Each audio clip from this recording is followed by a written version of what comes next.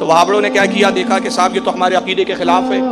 हम तो नबी को नूर मानते नहीं। उस वक्त तक हमारा खाना हजम नहीं होता जब तक हम नबी को अपनी तरफ़ बशर ना कहें अब ये अट्ठारह हदीसे, एक हदीसे तो हो तो हम कुछ बोले, दो हो तो कुछ बोले, तीन हो तो कुछ बोले। लिख भी दी तो अट्ठारह हदीसे अलग अलग सनदों के साथ। तो करे तो क्या करे? तो वाबियों ने बड़ी चालाकी की। आज से सिर्फ़ साठ साल पहले उसके बाद जो अलमुसन्नफ के नुस्खे छापने शुरू किए। सुन्नी तो बेचारे छापते ही नहीं सुन्नी को तो फुर्सत ही नहीं है। जब उन्होंने छापे तो ये पूरा बाबी उड़ा दिया।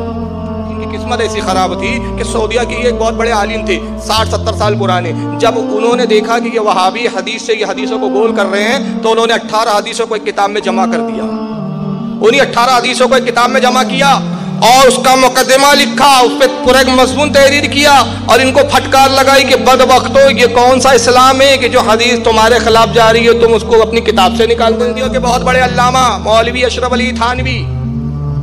थानवी साहब ने अभी अपने भी अपनी किताब नशरुद्दीन सफ़ा तेरह पर लिखा। मैंने यहाँ पर बावीस हवाले आपके सामने पेश किए हैं। हालाँकि पैंतालीस हवाले हैं बाईस काफ़ी तो ये सारे मुहदसिन ने इस हदीस को लिखा है कि नबी की तखलीक सबसे पहले नूर से हुई।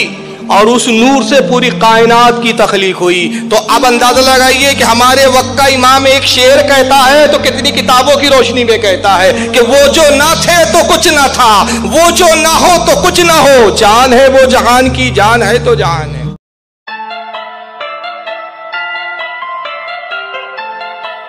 थोड़ी सी इल्म गुफ्तगु सुने। मैंने इब्तदा में कहा था कि इसको किसने लिखा इस हदीस को? इमाम अब्दुल रजाक ने।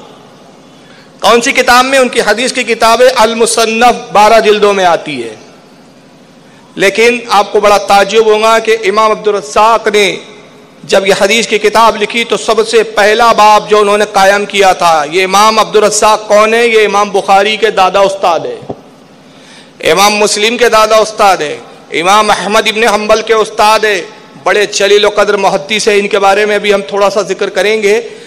तो इन्होंने अल मुसन्नफ जब लिखी तो सबसे पहला बाप कायम किया तखलीक नूर मोहम्मद सल्लल्लाहु अलैहि वसल्लम।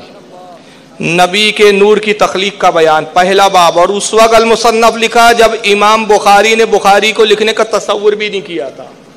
बल्कि इमाम बुखारी उस वक्त पैदा भी नहीं हुए थे। उस वक्त उन्होंने अलमुसन्नफ बारह जिल्दों में लिखा, और पहले बाब में अट्ठारह हदीसें लिखी उन्होंने। कितनी हदीसें?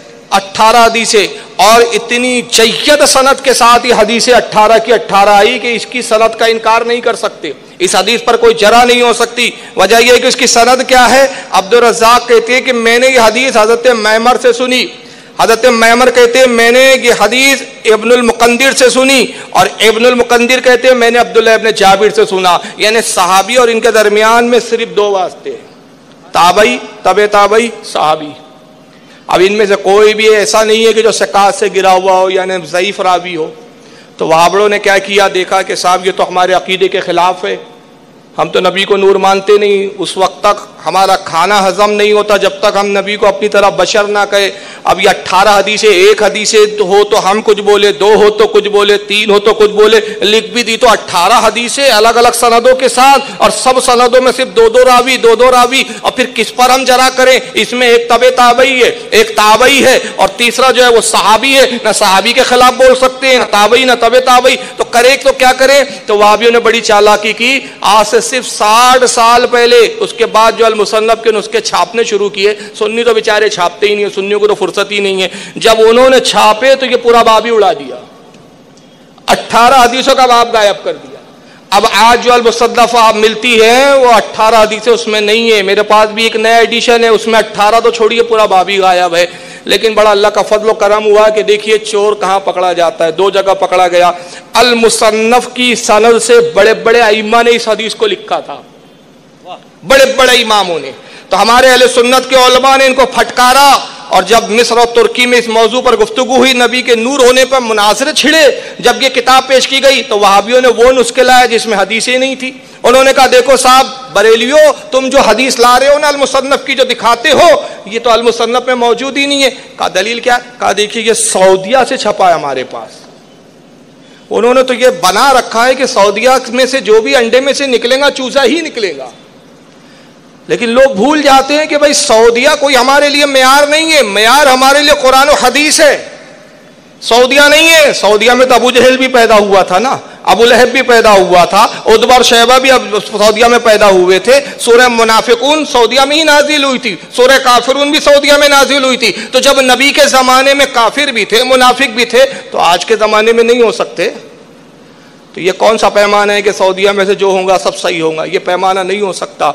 नतीजा ये हुआ कि जब उन्होंने कहा, देखिए, हमने सऊदिया से जो छपा है, उसमें ये बाबी नहीं है। तो हमारे उलमा ने मिस्र, बैरूत तुर्कियों के नुस्खे हासिल किए, कदीम नुस्खे। और उसके बाद इनकी किस्मत ऐसी ख़राब थी कि सऊदिया के ये एक बहुत बड़े आलिम थे, साठ, सत्तर साल पुराने। जब उन्होंने देखा कि ये वहाबी हदीस से ये हदीसों को गोल कर रहे हैं तो उन्होंने अट्ठारह हदीसों को एक किताब में जमा कर दिया। उन्हीं अट्ठारह हदीसों को एक किताब में जमा किया और उसका मुकदमा लिखा, उस पर पूरा एक मजमून तहरीर किया और इनको फटकार लगाई कि बद वक्तो ये कौन सा इस्लाम है कि जो हदीस तुम्हारे खिलाफ जा रही है, तुम उसको अपनी किताब से निकाल दे रहे और उस किताब का उन्होंने नाम रखा अल मुसन्नफ अल जुज मफकूद यानी अल मुसन्नफ का वो गुमशुदा जुज हिस्सा। जो 18 इन हदीसों पर है, जो नूर होने पर दलालत करती है, और वो सारी की सारी 18 हदीसें उन्होंने उसके अंदर जमा कर दी। अल्हम्दुलिल्लाह, आज वो नुस्खा हमारे पास मौजूद है। देखना हो तो मेरे घर आइएगा, मैं दिखा दूँगा।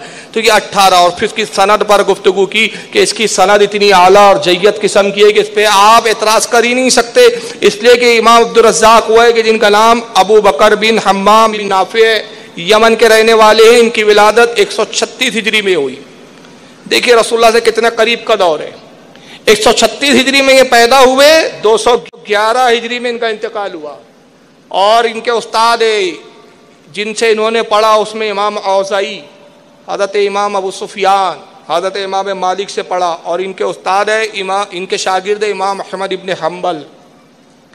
और भी इनके शागिर्द हैं, लेकिन इमाम अहमद इबन अम्बल की एक ज़ात इतनी मज़बूत है कि बस इनके लिए इतना ही काफ़ी इनकी फजीलत के लिए कि इमाम अहमद इबन अम्बल जैसा वक्का मोहदिस इनका शागिर्द है।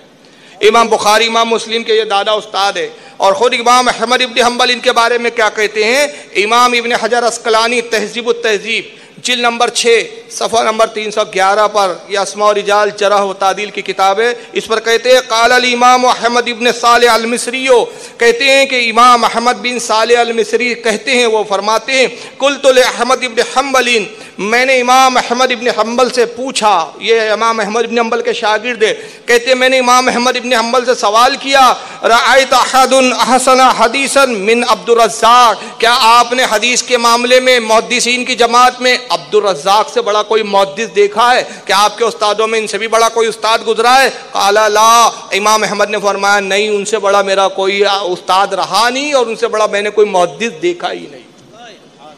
अब जिसकी मुहदिसाना सलाहियतों पर इमाम अहमद इबन हम्बल मसलक का इमाम गवाही दे कि मैंने अपनी ज़िंदगी में इनसे बड़ा मुहदस ही नहीं देखा तो अब कौन है आज का शख्स जो इनके ऊपर जरा करे? और फिर यही नहीं, खुद इमाम बुखारी ने उनकी सकात को कबूल किया और अपनी सही बुखारी में वन नब्बे हदीसें इनकी सनत से नकल की। एटी नाइन हदीस इमाम बुखारी ने इनसे ली और इमाम मुस्लिम ने दो सौ वन नब्बे हदीसें इनसे नकल की। और इमाम अब्दुलरजाक अपने उस्ताद से हदीस नकल कर रहे हैं, वो है मैमर, उनका पूरा नाम है मैमर एबन राशिद अलजदी ये भी यमन के रहने वाले थे, जलील कदर तब ताबई है। इनका विशाल एक सौ चौपन इजरी में हुआ। ये शागिर्द है हज़रत साबित बुनानी के, और हज़रत साबित बुनानी शागिर्द रसुल्ला के जलील कदर साहबी हज़रत अनस इबन मालिक के। साबित बुनानी कौन है? ये शागिर्द हज़रत अनस इब्न मालिक के, और हज़रत मैमर उनके शागिर्द है। हज़रत कतादा, ये भी ताबई है उनके शागिर्द है। हज़रत जोहरी, ये भी ताबई है उनके उस्ताद है। हज़रत जैद इब्न असला उनके शागिर्द है। इमाम बुखारी रहमत ने हज़रत मैमर से अपनी सही बुखारी में 225 हदीसें लिखी है। इमाम बुखारी का मैं नाम इसलिए ले रहा हूँ कि बहुत सारे लोग बुखारी बुखारी का रोप डालते हैं ना तो पता चला कि इमाम बुखारी का सही बुखारी में इनकी सनदों से रिवायत लेना इस बात की दलील है कि ये सारे रावी जब सच्चे हैं तो जब बुखारी में सच्चे हैं तो यहाँ कैसे ज़यीफ़ हो जाएँगे? यहाँ भी सही माने जाएँगे। वरना फिर बुखारी को भी जई बोलना पड़ेगा। तो सही बुखारी जो कहते हो आप तो उसको छोड़ दीजिए। इमाम बुखारी ने 225 हदीसें जो है, हज़रत इमाम मैमर से ली, हज़रत इमाम मुस्लिम ने 300 हदीसें ली। और ये नकल करते जलील कद्र ताबई इब्नुलमकंदिर से।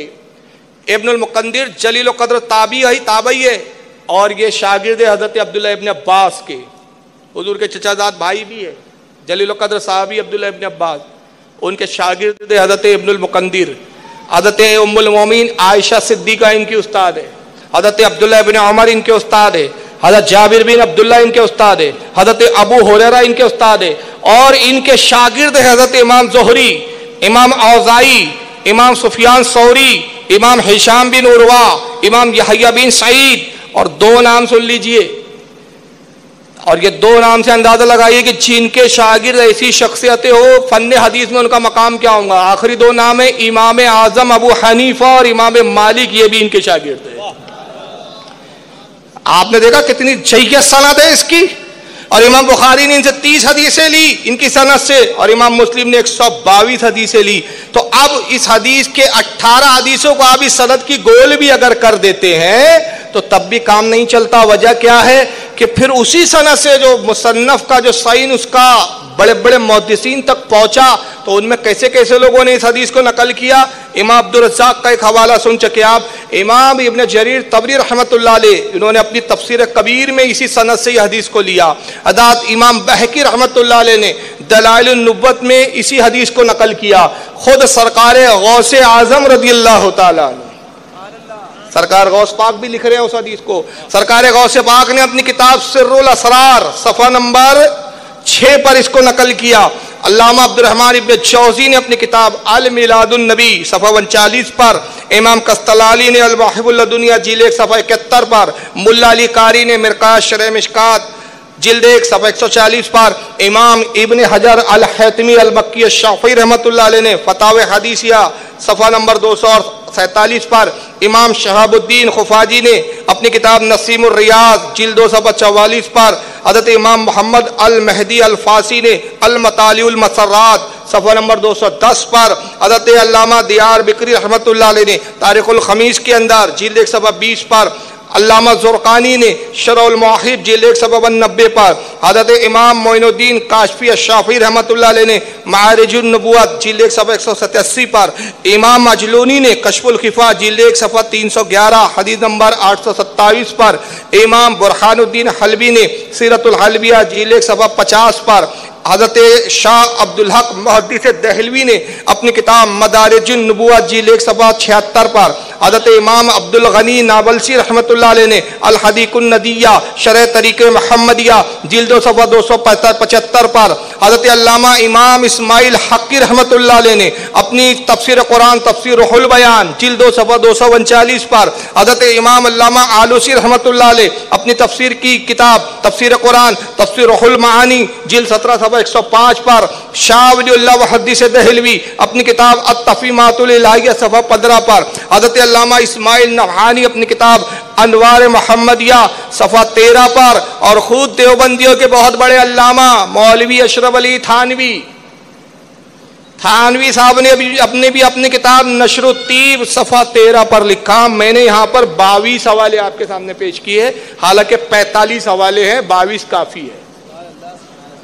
तो ये सारे मुहदसिन ने इस हदीस को लिखा है कि नबी की तखलीक सबसे पहले नूर से हुई और उस नूर से पूरी कायनात की तखलीक हुई। तो अब अंदाज़ा लगाइए कि हमारे वक्त का इमाम एक शेर कहता है तो कितनी किताबों की रोशनी में कहता है कि वो जो ना थे तो कुछ ना था, वो जो ना हो तो कुछ ना हो। जान है वो जहान की, जान है तो जान है। ये है हमारे इमाम की शान कि जब वो नबी की शान में एक शेर भी कहता है तो कितने हवालों को मद्देनजर रख के कहता है।